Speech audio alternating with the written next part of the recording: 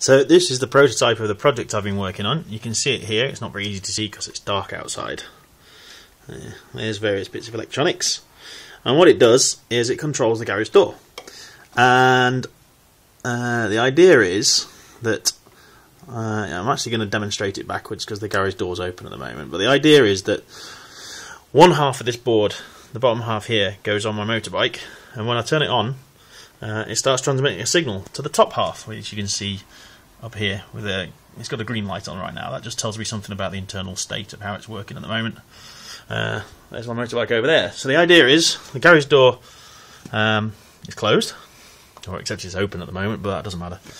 And I come over and turn my motorbike on. Now the bottom half will be attached to my motorbike, and I can simulate turning the motorbike on by turning the bottom half of the board on.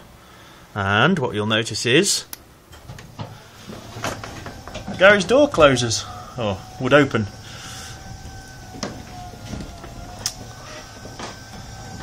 There it is.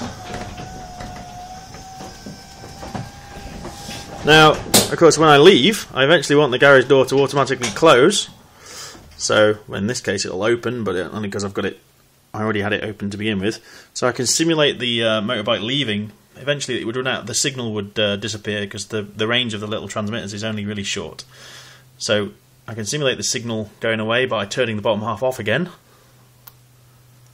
and it doesn't do it instantly. That's so that uh, if the receiver misses any packets or when I start the bike, it'll cut the power briefly. But after 10 seconds, there we go, it lit up. And the garage door opens. And it'll do the same when I come home. The garage door will open when I get home and it'll close automatically automatically 10 seconds after I turn the motorbike off.